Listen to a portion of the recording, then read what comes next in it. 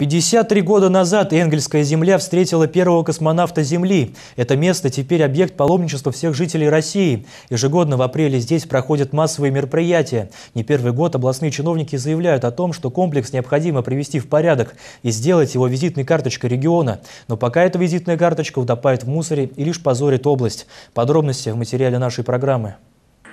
Невзрачный указатель на федеральной трассе. В трех километрах от него находится место, куда в апреле 1961 года приземлился первый космонавт планеты. Своего рода визитная карточка Саратовской области, говорят чиновники, которая доступна каждому жителю. Логично, что и состояние должно быть соответствующее. Я вот недавно был там, буквально где-то полтора месяца назад. На мой взгляд, состояние приличное, там очень много объектов интересных, и это подтверждается тем, что на День космонавтики туда приезжает, ну, я думаю, не менее 6 тысяч человек ежегодно. На деле этому месту далеко до культурного памятника региона. Чисто и ухоженно здесь бывает разве что 12 апреля. Туристы в обычный день бывают редко, а те, кто посетил место, в шоке. У памятника нормально, а рядом на стоянке очень много мусора. Бутылки, пластиковая посуда, всевозможные пакеты. Такого добра на территории всего комплекса немало. Этот мусорный бак уже стал звездой экрана. В середине июня очевидцы сняли о нем и лежащем рядом с ним мусоре видеоролик, в кадр которого случайно попал и памятник первому космонавту. Около памятника мусор валится, вот, пожалуйста. Мы встретились с автором видеозаписи спустя две недели. Горы мусора, по его словам, убрали, но лишь тот, который увидели. В высокой траве бытовые отходы, видимо, не разглядели. Вот трава, вот она не кошена, но это вопрос, почему этого не делается.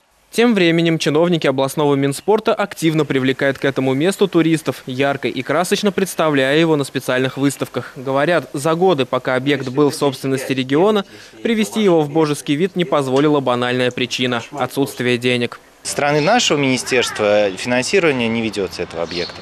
Мы планируем его включить в федеральную целевую программу, которая действует до 2018 года. В рамках нее возможности финансирования э, за счет федеральных средств. Но для этого нужны инвесторы. То есть должен быть готов проект, должна быть оформлена земля, должно быть гарантировано финансирование со стороны инвесторов. И только тогда федер... возможно вступить в эту программу и получать федеральные средства на развитие. Однако на данный момент э, инвесторов готовых вложить э, достаточно серьезную сумму в этот проект не имеется. Проект есть. Он включает в себя целый комплекс сетью объектов туристической инфраструктуры. Правда, стоит это все даже не 1 миллиард рублей. По словам жителей, здесь и не нужно многого. Достаточно лишь привести место в порядок и следить за ним. Нигде в мире больше нет такого места, понимаете? И хотелось бы, чтобы было оно устроено, побольше мусорных бачков, чтобы человек положил этот мусор, и, соответственно, службы убирались. И памятник Юрию Алексеевичу Гагарину не надо делать э, косметический ремонт. Надо сделать хорошо и надолго.